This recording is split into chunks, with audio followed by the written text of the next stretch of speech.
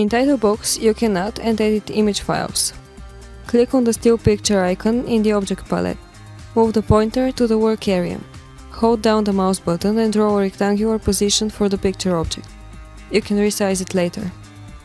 Select the background color. You need it in case the image is smaller than the object size. Click on the Open Image button and select the desired image. You can adjust its blur, contrast, brightness and color balance using the slides to the right.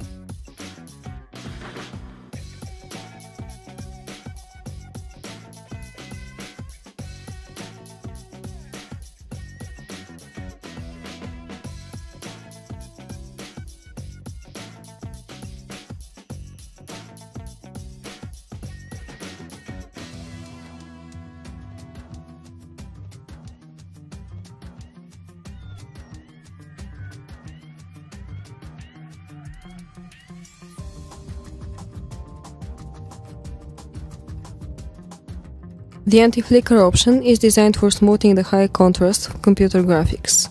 Change the vertical and horizontal values to prevent flickering of the graphic.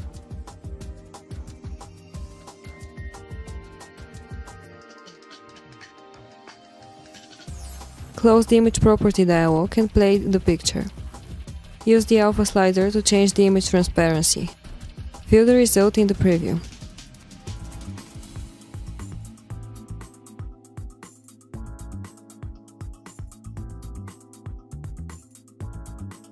To flip the image vertically or horizontally, double-click on the object to open the Properties dialog. Push the relevant Flip Image button on the toolbar and click OK.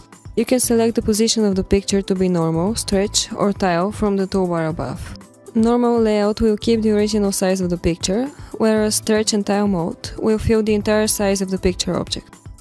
Image can be used for making effects to other TitleBox object. Create a raw object and then a picture object on top of it.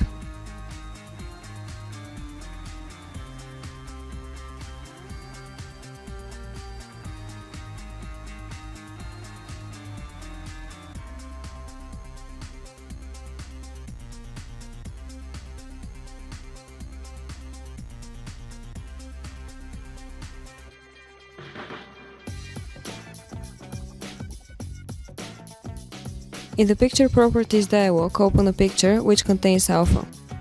Push the Draw Alpha Only button. This will create a mask for any underlying object. Play the object and notice that the picture object is used as an additional effect for the raw item.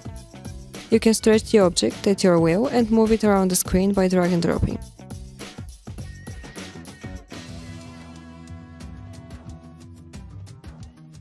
Open the Picture Properties dialog and disable the Draw Alpha Only option. Press OK and notice that now the image appears simply as a background for the raw object.